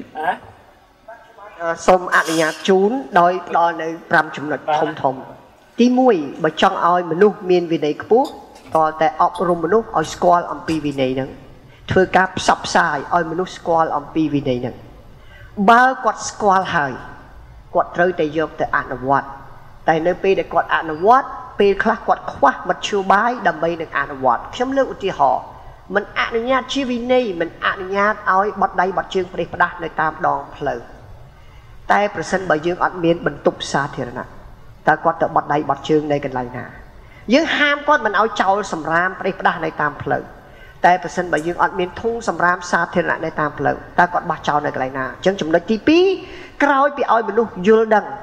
ឲ្យស្គាល់អំពីវិន័យមានន័យថាផ្ដល់មធ្យោបាយដើម្បីពង្រឹងនៅការអនុវត្តវិន័យហ្នឹងប្រសិនបើមានការអប់រំហើយមានមធ្យោបាយឲ្យហើយនៅតែមិនព្រមធ្វើទៀតអានឹងបានគេចូលដល់ដំណាក់កាលទី3ដែលគេហៅថាពង្រឹងការអនុវត្តនៅវិន័យហ្នឹង ចឹងតាមរយៈហ្នឹងគេធ្វើពិន័យទៅវិញណាអាអ្នកដែលមិនគោរពវិន័យគេពិន័យទៅវិញប៉ុន្តែការពិន័យនេះត្រូវតែឲ្យពិន័យស្មើគ្នាមានន័យថាមនុស្សទាំងអស់ត្រូវនៅក្រោមច្បាប់ មិនមែនពិន័យដោយអ្នកណាដែលត្រូវពិន័យហើយមានករណីលើកលែងទេដល់ពីវិន័យគឺគ្មានការលើកលែងទេអញ្ចឹងអនុវត្តឲ្យបានស្មើភាពគ្នាទី4ដើម្បីឲ្យវិន័យនេះខ្ពស់ហើយបានឆាប់ដូចខ្ញុំជំរាបជូនមិញ ត្រូវតែប្រើប្រាស់មេដឹកនាំជាគំរូគេបាទបង្ហាញនៅវីរភាពនិងគំរូរបស់គេក្នុងការគោរពវិន័យហ្នឹងបាទអាហ្នឹងគឺជាខ្ញុំលើកឧទាហរណ៍សាមញ្ញសាមញ្ញទេថាប្រជុំម៉ោង2តែខ្លួនឯងជាអ្នកដឹកនាំកិច្ចប្រជុំម៉ោង2អត់ទាន់មកផងហ្នឹងអានោះដែលជាការបំពេញនៅវិន័យរួចទៅហើយ ហើយតើឲ្យអ្នកណាដែលទៅធ្វើការវិន័យជាមួយយើងអញ្ចឹងមានតែយើងជាមេដឹកនាំហ្នឹងគឺយើងត្រូវដើរតួជាគំរូអញ្ចឹងបង្ហាញភាពជាគំរូមេដឹកនាំទាំងអស់នៅគ្រប់លំដាប់ថ្នាក់ធ្វើជាគំរូក្នុងការគោរពវិន័យហ្នឹងចុងក្រោយបំផុតធម្មតាទេគ្មានស្អីមួយដែលធ្វើទៅដោយរលូនបានទេដោយប្រកបប្រសិទ្ធភាពទេអញ្ចឹងបានគេត្រូវធ្វើការអភិបាលតាមដាននឹងវិតម្លៃហើយការអភិបាលតាមដាននឹងវិតម្លៃនេះដើម្បីរកមើលចន្លោះខ្វះខាត ដើម្បីប្រើប្រាស់ចន្លោះខ្វះខាតហ្នឹងទៅធ្វើអីកំណែទម្រង់ជួនកាលអ្វីដែលយើងធ្វើមិនមែនស័ក្តិសមទៅនឹងអ្វីដែលប្រជាពលរដ្ឋចង់បានទេវិន័យនឹងវាខុសពីអ្វីដែលជាការពិតវិន័យនឹងវាខុសអំពីកលៈទេសៈនិងស្ថានភាពរបស់សង្គមដែរអញ្ចឹងនៅពេលដែលយើងធ្វើការអភិបាលតាមដាននឹងវាតម្លៃយើងនឹងមើលឃើញនៅគម្លាតឬចំណុចខ្វះខាតដែលយើងមកត្រូវតែយកមកធ្វើការក៏ធ្វើកំណែទម្រង់នឹងកែលម្អជាប្រចាំដើម្បីធ្វើឲ្យវិន័យយើងកាន់តែល្អ ហើយការអនុវត្តកាន់តែបានពេញលេញហើយវាសមស្របទៅនឹងការចង់បាន របស់ប្រជាពលរដ្ឋសូមអរគុណ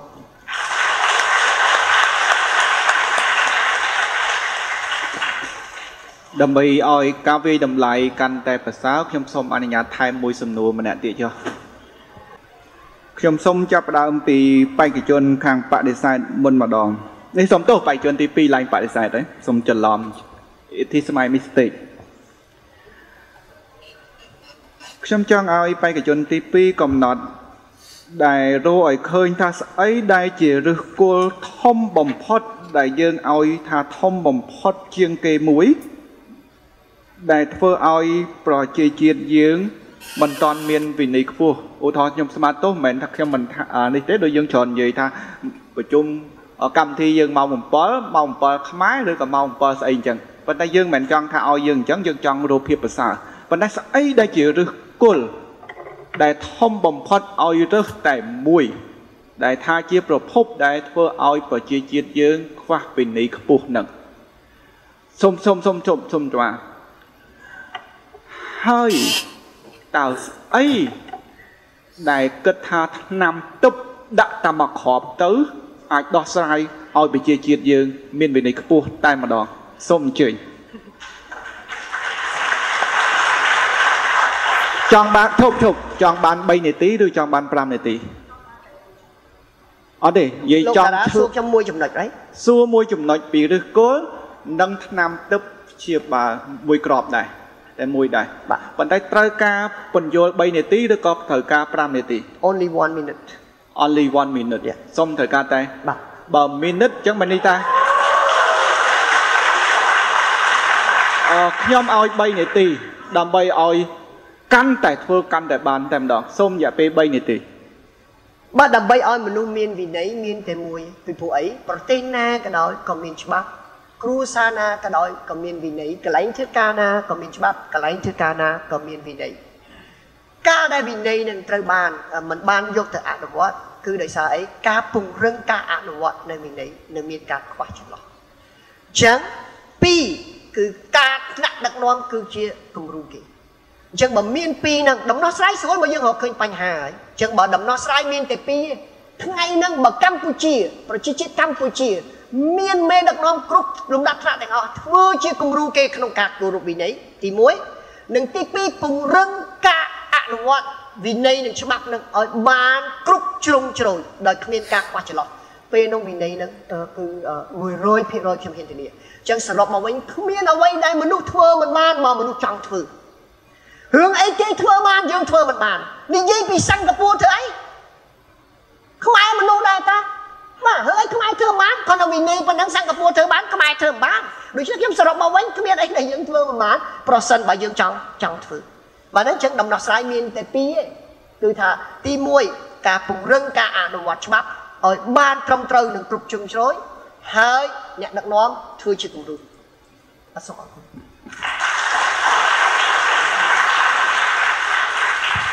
អូខេសំណួរអបាញ់មិញនេះសូមឲ្យខាងបេក្ខជនស្របធ្វើការឆ្លើយក្នុងរយៈពេល3នាទីដែរសូមអញ្ជើញអីសូមទៅមិនស្របបេក្ខជនទី1ចាចំពោះសំណួរលោកគ្រូថាតើមានឆ្នាំទឹកអីអឺស្អីដែលជាឫសគល់ដែលយើងគិតថាធំបំផុតនៅនៃបញ្ហាហើយយើងគិតថាស្អីដែលជាឆ្នាំទឹកដាក់តែមួយក្របទៅវាជួយដោះស្រាយចា ចំពោះសំណួរតកតងថាស្អីទៅដែលជាឫសគល់ដែលធ្វើឲ្យមនុស្សគ្មានវិន័យចាឫសគល់ធំបំផុតដែលធ្វើឲ្យមនុស្សគ្មានវិន័យគឺដោយសារតែបុគ្គលខ្លួនឯងម្នាក់ម្នាក់ហ្នឹងគ្មានចំណេះដឹងគ្មានស្មារតីភ្ញាក់រលឹកក្នុងការធ្វើខ្លួនឯងឲ្យคล้ายជាមនុស្សគំរូរបស់ខ្លួនឯងនិងសម្រាប់មនុស្សដែលនៅជុំវិញខ្លួននេះជាចម្លើយរបស់ខ្ញុំ ទី2ថាធ្វើដាក់ថ្នាំទឹកអីដែលធ្វើទៅឲ្យប្រជាជាតិយើងនឹងវាមានវិន័យខ្ពស់ខ្ញុំនៅតែនិយាយដដែលដដែលហើយខ្ញុំជឿថាប្រធានបទនៃការជជែកដេញដោលរយៈពេល3ថ្ងៃនេះគឺសំខាន់ខ្លាំងណាស់ដែលយើងផ្ដោតសំខាន់ទៅលើការអប់រំការអប់រំគឺនៅតែជាមធ្យោបាយដ៏សំខាន់បំផុត ក្នុងការធ្វើឲ្យមនុស្សមានការផ្លាស់ប្ដូរការអប់រំនៅទីនេះមិនមែនសំដៅទៅលើការអប់រំនៅក្នុងសាលារៀននោះទេ ការអប់រំមានទាំងនៅក្នុងសាលានិងក្រៅសាលាសូម្បីតែបងប្អូនដែលចូលរួមនៅទីនេះស្ដាប់នៅទីនេះក៏បងប្អូនបានទទួលការសិក្សាអប់រំដែរពីវាគ្មិនទាំងអស់រួមទាំងបង្បេក្ខជនទាំងអស់ដែលចូលរួមអញ្ចឹងការអប់រំគឺជាចំណុចសំខាន់បំផុត ដែលអាចជួយឲ្យប្រជាជាតិយើង មានវិន័យខ្ពស់ហើយការអប់រំទៀតសោតគឺត្រូវការរយៈពេលមួយជាក់លាក់ដើម្បីធ្វើឲ្យដល់គោលដៅអញ្ចឹងហើយបានជាមានយុទ្ធសាស្ត្ររបស់រាជរដ្ឋាភិបាលគាត់បានដាក់ច្បាស់ណាស់ថានៅឆ្នាំណាគាត់ចង់បានអ្វីឆ្នាំ2025ត្រូវមានអីគឺគាត់បាននិយាយច្បាស់ ហើយចង់ឲ្យប្រជាជាតិមួយមានវិន័យខ្ពស់គឺយើងត្រូវការរយៈពេលអញ្ចឹងបងប្អូនទាំងអស់គ្នាដែលនៅទីនេះខ្ញុំជឿថាបើគ្មានការអប់រំគឺមានការពិបាកណាស់យើងមើលឃើញជាក់ស្ដែងនៅពេលដែលយើង នៅឃើញចំណតឡានក្រុងយើងឃើញហើយដូចជារាជរដ្ឋាភិបាលខំប្រឹងឲ្យមានឡានជូនកម្មករកម្មការិនីទៅស្រុក ប៉ុន្តែនៅពេលដែលគាត់ចុះពីលើឡានអត់យកថ្លៃទេប៉ុន្តែនៅពេលដែលគាត់ចុះពីលើឡានមានស្បោងផ្លាស្ទិកមានសម្បកកំប៉ុងទឹកសុទ្ធឲ្យពេញនៅក្នុងឡានសួរនឹងបញ្ជាក់អីដោយសារតែគាត់ខ្វះការអប់រំអញ្ចឹងការអប់រំបងប្អូនត្រូវចាំថាគឺចាប់ផ្ដើមតាំងពីខ្លួនឯងយើងរហូតទៅដល់មនុស្សដែលនៅជុំវិញខ្លួនយើងមិនមែនចាំតែបងប្អូនចូលមហាវិទ្យាល័យទៅបងប្អូនមានការអប់រំទេគឺអប់រំខ្លួនឯងឲ្យស្គាល់ថាអ្វីទៅជាតម្លៃនៃមនុស្ស អ្វីទៅជាតម្លៃនៃការធ្វើឲ្យខ្លួនឯងមានវិន័យខ្ពស់បង្កើតអ្វីដែលខ្លួនឯងគួរធ្វើហើយនឹងមិនគួរធ្វើយើងដឹងច្បាស់នេះគឺខ្ញុំនៅតែនិយាយថាការអប់រំនៅតែជាថ្នាំទឹកដើម្បីជួយឲ្យប្រជាជាតិយើង មានវិន័យខ្ពស់ហើយអ្នកណាអ្នកណាក៏ត្រូវការវាដែរมันអាចអត់បានចាសូមអរគុណ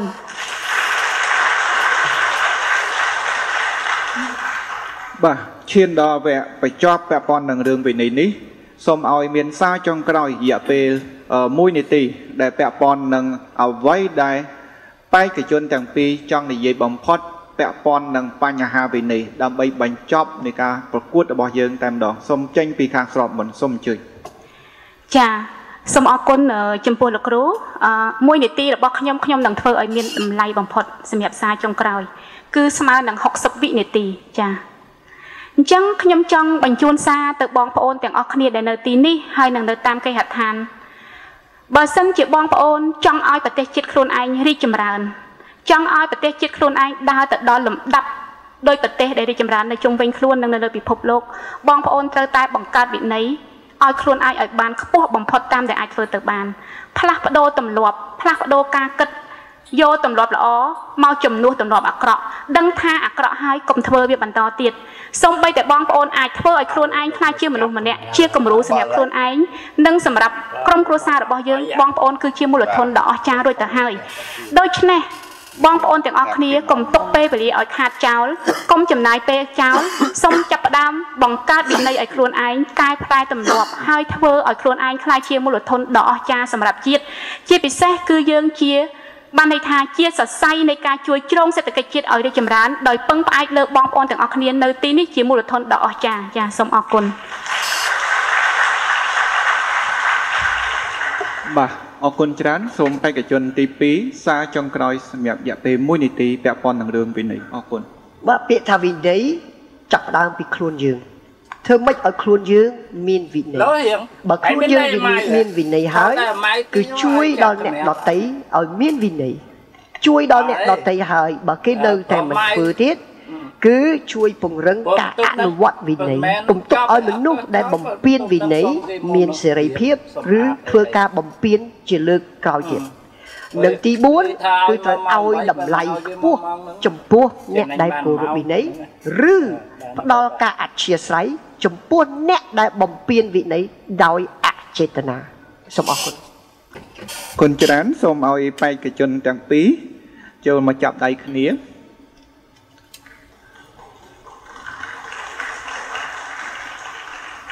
សូមឲ្យ បន្តមកទៀតសូមឲ្យចាប់ដៃពីទាំងសងខាងសូមឲ្យនិយាយថាទោះបីមានលទ្ធផលយ៉ាងណាក៏យើងទៅនៅតែជាមិត្តល្អនឹងគ្នាចាឈានចូលដល់ការប្រកាសលទ្ធផលសូមអបអរសាទរវេទិកាកម្ពុជាជជែកដេញដោលពីភាគទីអ្នកដឹកនាំ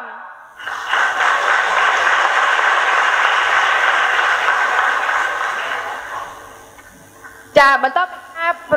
បន្តពីការប្រកួតរយៈពេល3ថ្ងៃយើងបានរកឃើញជើងឯកកម្ពុជារបស់យើងហើយសូមចូលរួមអបអរសាទរសូមចូលរួមអបអរសាទរដល់ឯកឧត្តមបណ្ឌិតហៅបន្លែ